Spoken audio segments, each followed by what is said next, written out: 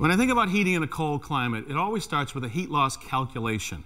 How much of the heat that we make passes through the wall and is lost to outside? Heat always goes to cold. Now, in conventional construction, we might have a 2 by 4 wall with fiberglass insulation inside of it. Now, that has a given R value. That's the measurement of how much heat passes through it. And that R value might be R19. Now, this year we're building new. and allows us to really rethink our outside wall cavities.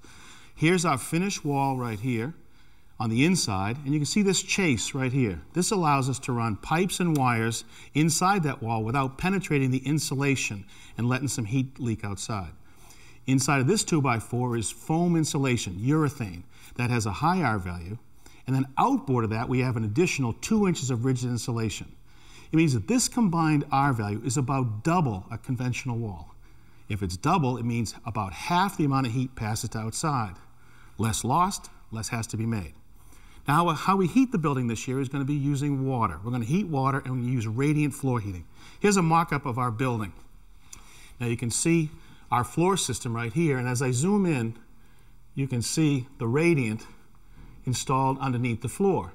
Now we've done this before, but what's different this year is we normally do it after the building has been framed and decked.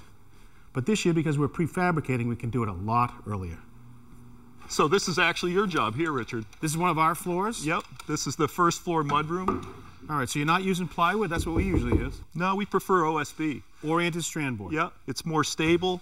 It's a lot better when it gets wet on the job site. Just in case it's raining the day we fly Yep. these in. Let me pick this up. We can take a look at it. Hey, I like that, a crane. Yeah, this is one of the big advantages of being in a shop. All right, so you got engineered lumber down here. Yep. These are I-joists. Uh, very strong, very stable. I tell you, we like them too compared to conventional lumber because to drill for pipes or wires, we can go right inside this webbing and not affect the structure. Right. Come on over here, Richard.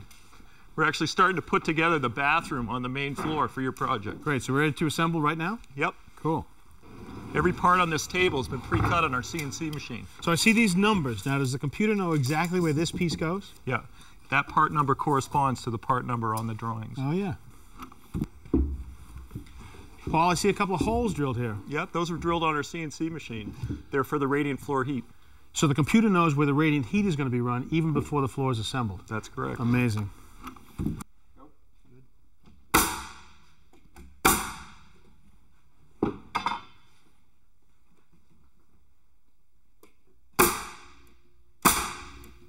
Now we're getting ready to put down the OSB sheathing. And I like seeing that bead of adhesive underneath the subfloor. Right, that locks down the OSB and stops any squeaks that might happen later on. Nice quiet floor. Now we take our subfloor, line it up with the rim, and nail it off.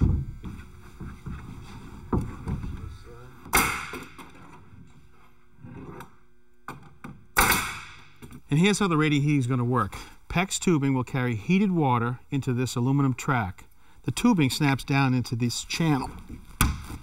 And then the track is attached to the underside of the subfloor, so the heat will transfer through the floor into the building. The advantage we have here at our shop is we can take the floor panels, lay them upside down to be able to get at the work easily. Boy, that makes it a lot easier.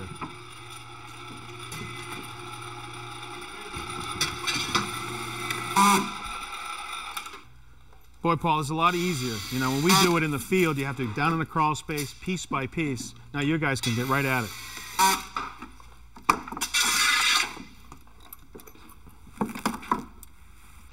Well, pretty amazing, Paul. All the tracks for this room are done in about, what, five minutes. Now we just got to run the tubing. That's right. Now remember, Richard, we pre-drilled all those holes, so this should come right together. All right, I'm going to pull this one down the bay, all right? You, you good? Here we go.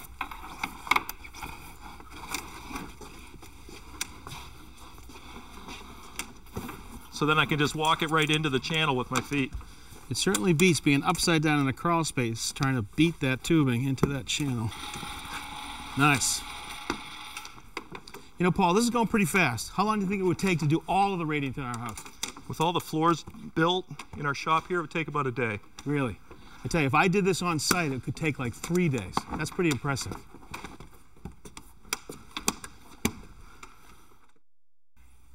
The last step in our process is insulation. Take the mineral wool batts, stuff them in the joist bays up tight against the radiant. Yeah. And that insulation is so important with radiant heating because you really want to contain that heat and drive it up to the living space, not let it migrate down.